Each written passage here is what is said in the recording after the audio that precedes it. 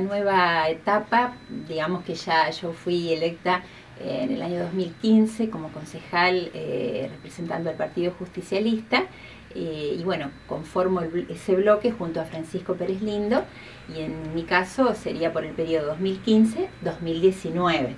O sea que a fines de diciembre ya estaría, digamos, terminando mi mandato.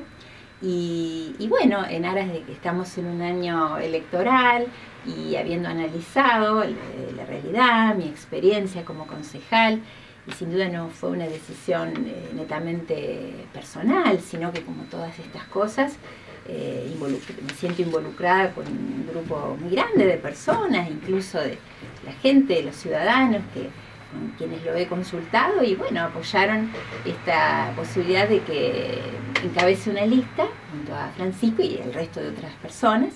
Y bueno, aquí estamos, en carrera.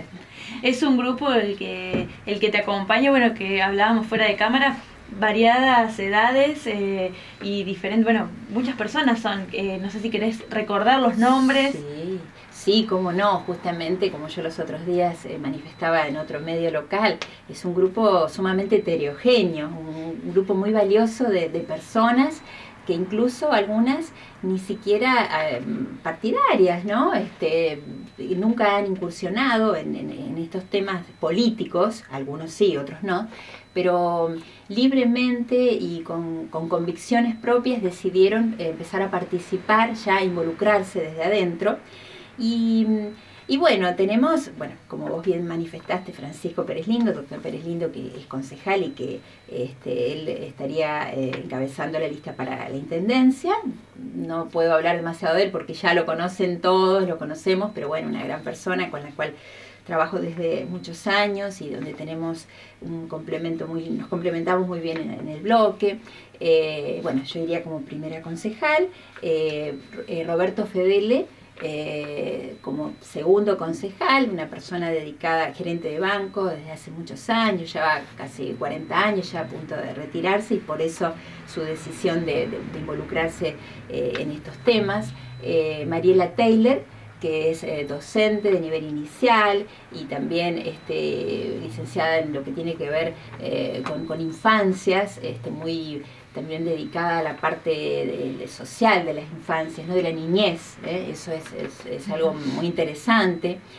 Nazareno Baldo, nace dedicado al arte, a la cultura, con unas energías, este, la verdad que nos transmite y, bueno, yo creo que es un aporte fundamental para toda la sociedad. Em, eh, lo que es el, arte y la cultura. Sharon Ambor, ella este, trabaja en una institución em, de, nuestra localidad, institución educativa, eh, también eh, con muchas ansias y muy ella participa mucho, está muy involucrada con los jóvenes dentro de la escuela, lógicamente, y este, Sebastián Pérez, un joven que ya casi a punto de dejar la universidad, eh, la temática industrial, laboral, ya ahora terminando una licenciatura con dos carreras, alguien que también se dedica al deporte, y, y bueno, como te decía, una lista muy heterogénea y es un muestreo de la sociedad, ¿eh? es decir, muy amplia, porque justamente nosotros, si hay algo que no queremos, es una sociedad monocromática, es decir, no podemos ver todo del mismo color, todo tiene que ser igual y apuntar todo a lo mismo, porque la verdad que creo que sería terrible vivir en una sociedad así.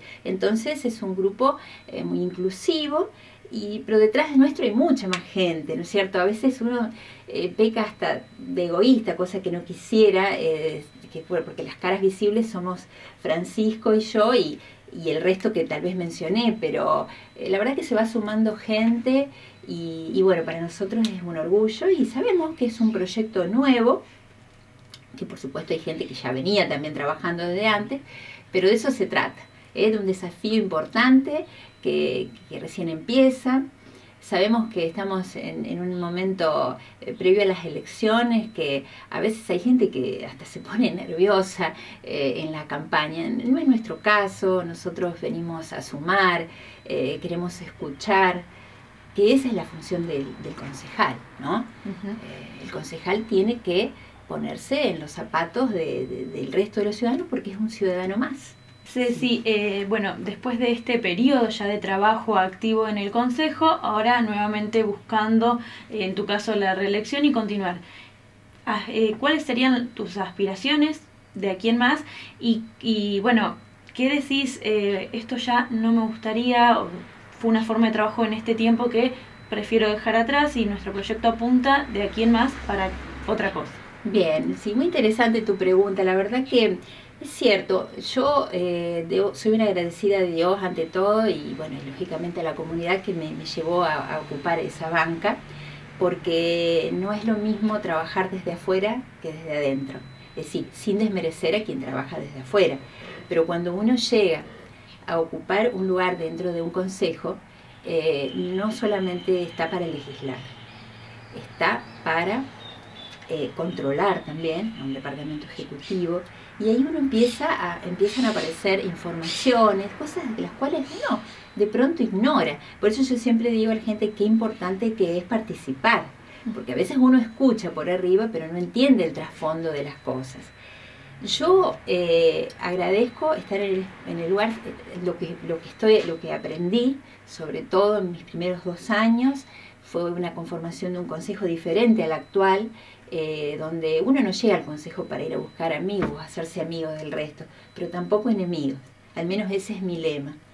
Eh, pude em, encontrarme con, puedo, los voy a mencionar, por ejemplo, eh, este, el contador Bertossi, Hernán Bertossi, la señora Adriana Bonino, que de espacios políticos completamente diferentes y sin embargo hemos trabajado a la par y, siempre con buena predisposición y trabajado mucho, mucho por la ciudad, todo. Em, eso creo que es lo bueno que yo rescataría, eh, el poder, eh, la, suma de voluntades y que siempre esa apertura, digamos.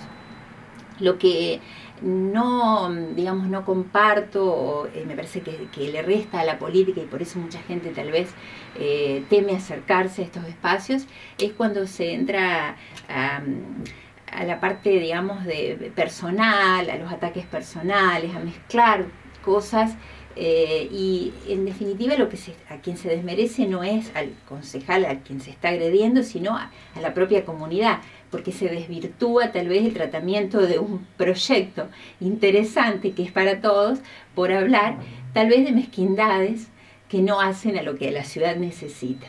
Entonces, mi propuesta es seguir trabajando, quien lo va a decidir lógicamente es la comunidad, y cuando digo mi propuesta, hablo de la propuesta de todo un equipo de trabajo, que se entienda. Eh, seguir para adelante, eh, no venir a borrar de un plumazo lo que se hizo bien, porque creo que nadie que pasa por una, por una gestión hace todo mal, al contrario, siempre son más las cosas buenas que las que tal vez no salieron como la persona hubiese deseado. Creo que cualquier este, concejal o intendente que haya pasado por, nuestra ciudad eh, lo hizo porque quería cosas buenas para, para la ciudad y a veces no nos salen, ¿no? Eh, o no podemos, este, lamentablemente cuando no somos mayoría, y sí, uno se va tal vez este, eh, de la sesión, uy, no salió nuestro proyecto, o no fue votado este, de manera favorable, eh, no lo pudimos trabajar en, comisión. Pero bueno, lo importante es que uno, ese proyecto estuvo y que tal vez en otro momento de la historia de San Carlos pueda salir y se pueda mejorar. Pero nunca que quede claro es venir eh, las continuidades. Hoy estamos en un, panorama eh, local maravilloso, yo diría, para los que amamos la democracia, eh, de seis concejales, cinco vamos, vamos por la, reelección o bien para algunos tres van para la candidatura para este, la intendencia.